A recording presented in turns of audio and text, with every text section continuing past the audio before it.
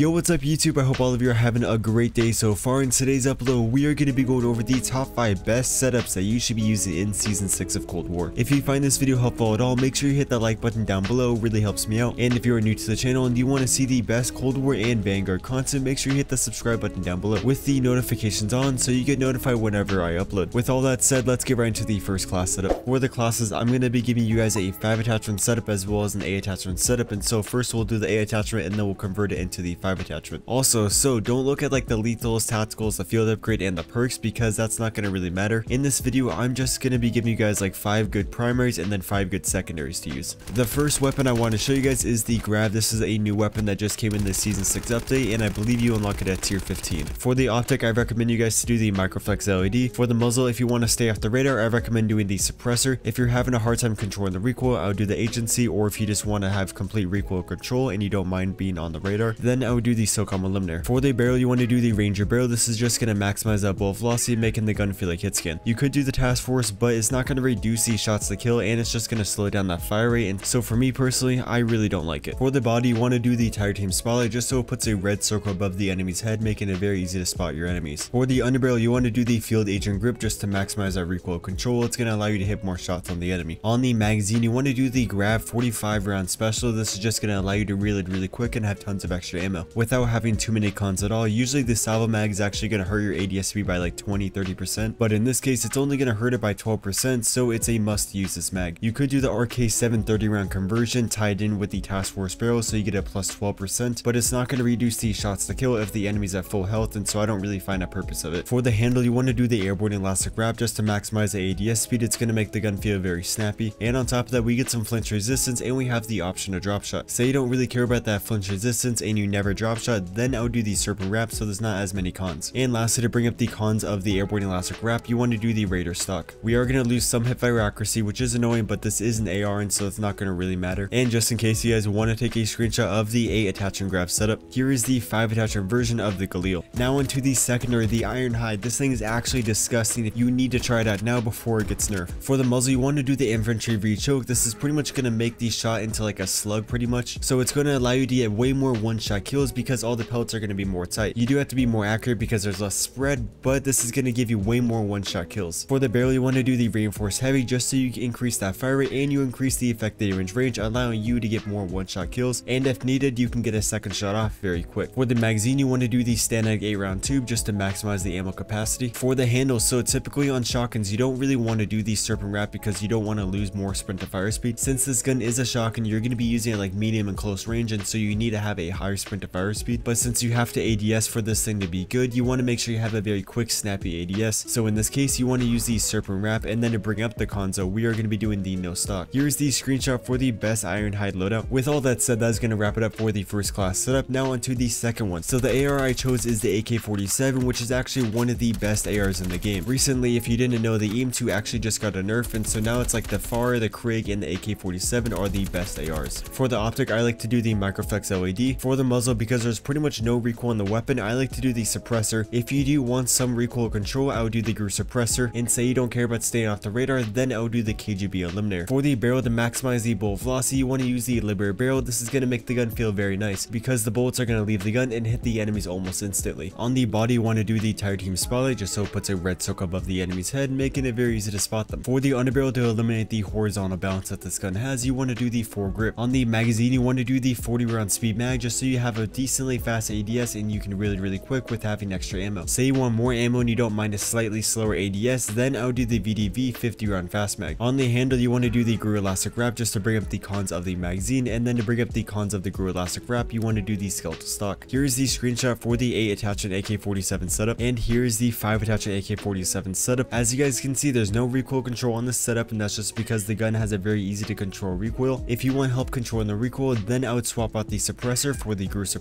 or the KGB eliminator. What you can also do is take off the Tiger Team spotlight and then add the regular foregrip. For the next secondary I want to show you, this is going to be the amp. I believe this is actually the best secondary to run a Kimbo in. For the first attachment, you want to do the infantry compensator or the sound suppressor. With the sound suppressor, you're going to stay off the radar, but with the infantry, you're going to be able to land more shots typically because there's less recoil. For the body, you want to do the SWAT 5 MW laser sight. We are losing ADS speed, but that's not going to matter because we have this thing in akimbo. For the magazine, you want to do the salvo mag just so you have extra ammo and you can really, really quick without hurting your ADS speed because this is a akimbo. For the magazine, you want to do the salvo mag just so you have extra ammo and you can reload really quick. You are losing ADS speed, but that's not going to matter because we are using this in akimbo. Here's the screenshot for the best akimbo amp setup. The next gun I want to show you guys, this is going to be the PPSH. So the reason I want to show you guys the PPSH is because recently the task force barrel and it just got a buff and so it's actually going to take one less shot to kill if you use the task force barrel, making it one of the fastest killing guns of the game. The, the recoil on it's a little bit weird, but it's pretty easy to get used to, just takes a few games. For the first attachment on the optic, you want to do the microflex LED. For the muzzle, because there is a lot of recoil with the task force barrel, you want to do the KGB eliminator or the GRU suppressor. If you can control the recoil, the GRU suppressor will be better because you are going to stay off the radar, but if you can't really control the recoil, you want to do the KGB eliminator. For the barrel, you want to do the task force barrel because it's going to reduce the TTK. On the body, you want to do the Stadium laser because we are going to be throwing on a stock that's going to hurt the hipfire accuracy. For the underbarrel, you want to do the Spetsnaz grip just to maximize that recoil control. On the magazine, I recommend you guys to do the 40 round speed mag or the VDV 50 round fast mag. So the pros of the fast mag are a lot better, but you are going to have a slower ADS speed and for SMGs, I like to have a snappy ADS speed. So for me, I like to do the 40 round speed mag, but you might like the VDV and so I would try it out. And to bring up the ADS speed, you want to do the Gorilla Elastic Wrap. This is going to bring it up by 30%. There is some pretty big cons, but that's why for the stock, we are going to be doing the Raider stock. Here is the screenshot for the 8 attachment PPSH setup, and here's the 5 attachment PPSH setup. The next pistol I want to show you, this is going to be the Diamatti. On the muzzle, you want to do the infantry compensator to help you control the recoil, or you can do the sound suppressor, but there is a decent amount of recoil, and so I like to do the infantry. You could do the SOCOM, but I don't like how it hurts your shooting movement speed. For the barrel, you want to do the task force barrel, and then for the body, you want to do the SWAT 5 MW laser sight. For the magazine, you want to do the salvo mags. As you guys can see, most of these pistol classes are the same, and so it's pretty much like a copy and paste. Here is the screenshot for the best Akimbo Diamatti setup. The next class I want to show you, this is going to be a sniper class, and in my opinion, the Barrett is the best sniper. So the reason the Barrett's the best sniper is because it's semi-automatic and it has like the same damage almost as the Tundra. It's pretty much a semi-automatic Tundra. The Swiss will beat it sometimes, but overall, this is like the best sniper. For the optic, you don't really need to run one, but if you do, I recommend trying out the Axial Arms. On the muzzle, because there is lots of sway with this weapon, you want to do the stabilizer, so it eliminates all the sway with no cons. For the barrel, you want to use the Tiger Team barrel, so you maximize that damage, you're going to get less hit markers, and on top of that, it's going to increase the fire rate by 31%, which is amazing. On the body, just to put a red circle above the enemy's head, it's going to make it a lot easier to quick scope because it's like more of an object to line up with. You want to run the Tiger Team spotlight. For the underbarrel, because this thing does have a lot of recoil, you want to do the bipod to eliminate that recoil. You could do another grip that's going to increase the movement speed, but it's kind of fun to hard scope, and so I recommend trying out the bipod first. On the magazine, you want to do the 7 round mag or the fast mag, whichever one you prefer. On the handle to maximize the ADS speed, you want to do the serpent wrap. We are going to lose some sprint fire speed, but that's okay because for the stock, we are going to be doing the CQB pad. Here is an overview of the best gunfighter M82 setup. Here is the class in case you want to use this with just 5 attachments. The next pistol I want to show you, this is going to be the 1911 and it's pretty much a copy and paste from before, but if you want a screenshot, here it is. The last class I want to show you, this is going to be the AK-74U. So the reason I chose the AK-74U is because this is like the most well-rounded gun. In most situations, if you have an AK-74U, you should be fine. So to start things off, on the optic, you want to do the Microflex LED. For the muzzle, you want to do the GRU suppressor just to help you control the recoil, and it's going to give you some really nice clean iron sights. Although that's not going to really matter with the sight, and so even if I'm running the gunfighter version, I won't run a sight on it. For the barrel, you want to do the task force barrel, and the reason I like this one is because I can use this gun at like any range, and so I find myself challenging people across the map, and so the task force is going to make it a little bit easier. Say you don't like how it hurts your recoil control, then I would do the Liberator barrel. This is the next best option. For the body, you want to do the stadium laser, so while you're hip firing, you can hit more shots. On the underbarrel, to compensate for the recoil that the task force barrel gives us, you want to do the Spetsnaz grip. If you are running the Liberator barrel instead of the task force barrel, try out the foregrip, this should be good enough. For the magazine, you want to do the 40 round speed mag or the VDV 50 round fast mag. On the handle, you want to do the GRU Elastic Wrap just to bring up the cons that the magazine gives us. We are losing lots of mobility, but that's okay because for the stock, we are going to be running the skeletal stock. Here's the screenshot for the best gunfighter AK-74U setup in Cold War. Here's the 5 attachment setup of the AK-74U. For the last secondary I want to go over, this is going to be the Magnums, and again, it's the same exact setup, so I'm just going to throw up an image on screen.